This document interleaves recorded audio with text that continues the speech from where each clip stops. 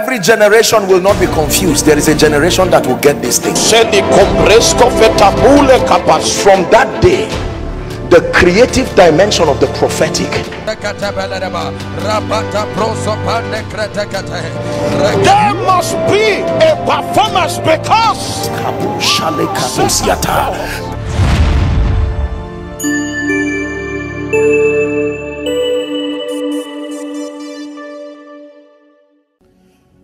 One of the greatest blessings that can be given to the believer, aside from the Holy Spirit, is the gift of a teaching priest.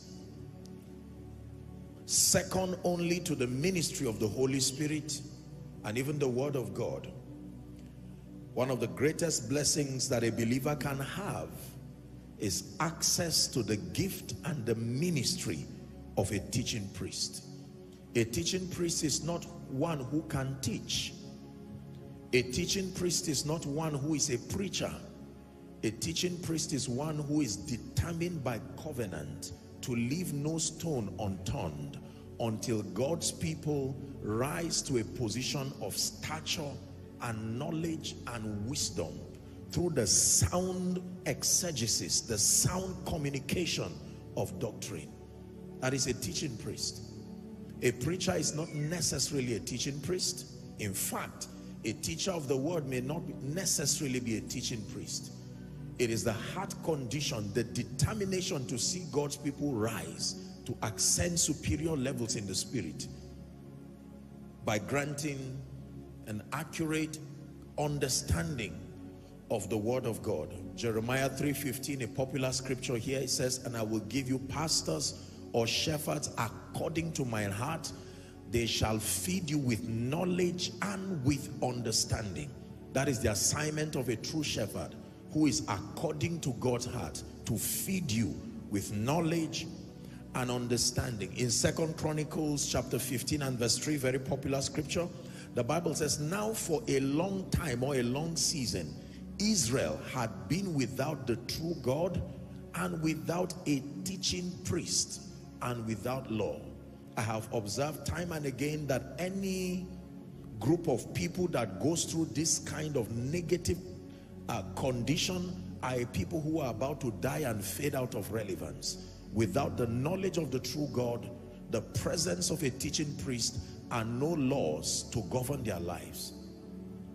When Satan wants to destroy a people, the battle that he fights over their life is around these three areas he fights their knowledge of the true God. He fights the presence or the efficiency of a teaching priest.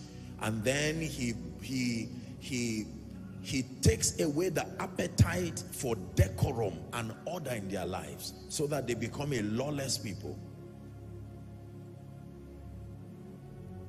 The bible records that jesus wept two times according to scripture. Number one was in john chapter 11 verse 35 says Jesus wept.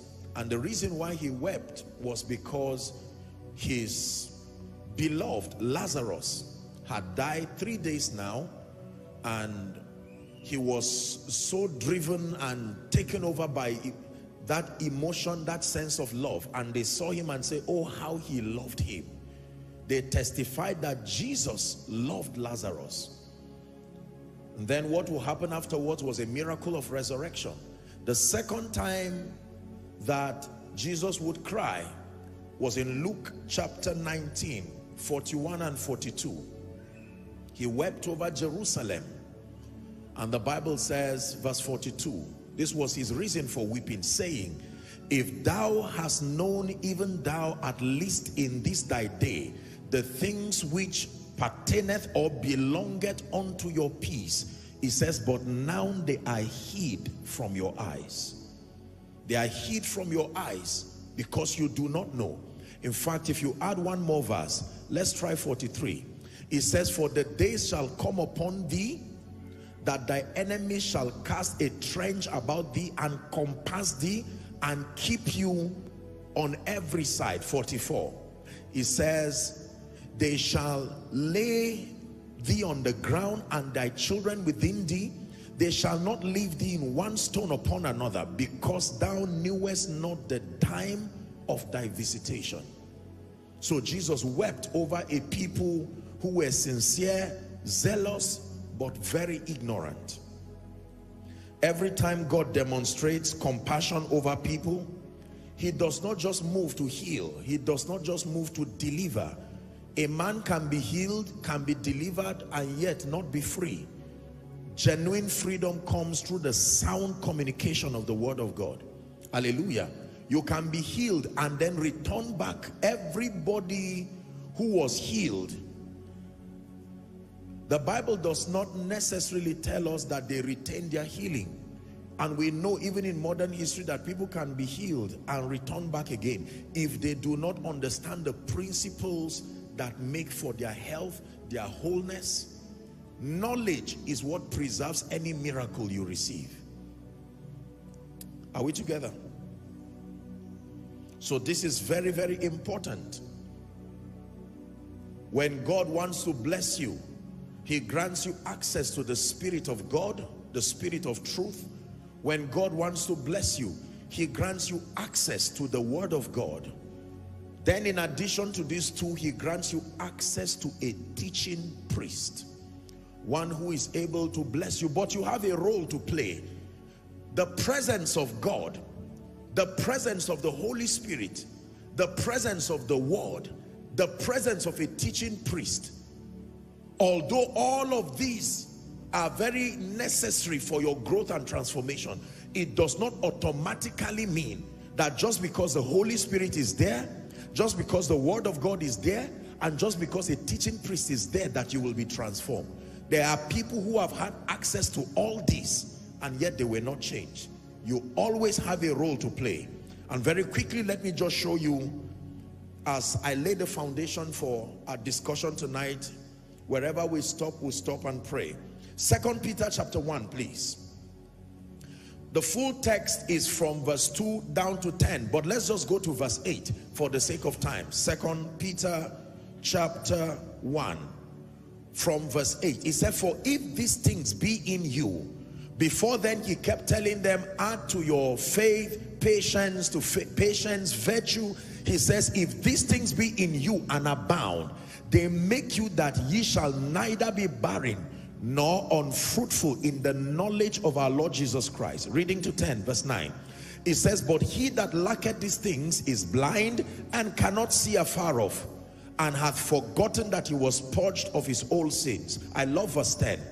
Wherefore the rather, brethren, give diligence to make your calling and your election sure. For if ye do these things, ye shall never fall. It is your responsibility to take advantage of all these spiritual resources. The Holy Spirit, the Word of God, the presence of a teaching priest to receive with meekness like Colossians 3 and verse 16 would encourage us and then when you receive with meekness or please find that scripture for me it says let the word of Christ dwell in you richly. And then it says to receive with meekness the engrafted word that is able to save your soul. So when you receive with meekness now you engage it through faith. Are we together now